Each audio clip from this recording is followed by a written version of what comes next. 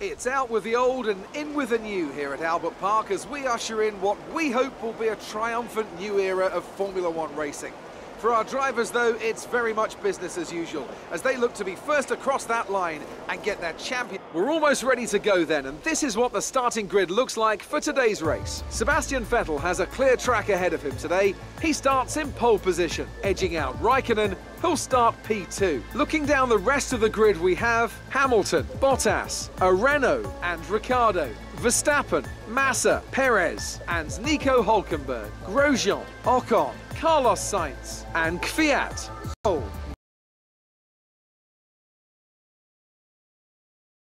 Wehrlein and Marcus Ericsson rounds off the grid. Now it's almost time to lights out, so let's go down to the track.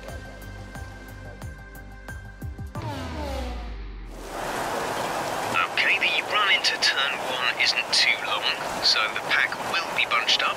Take care.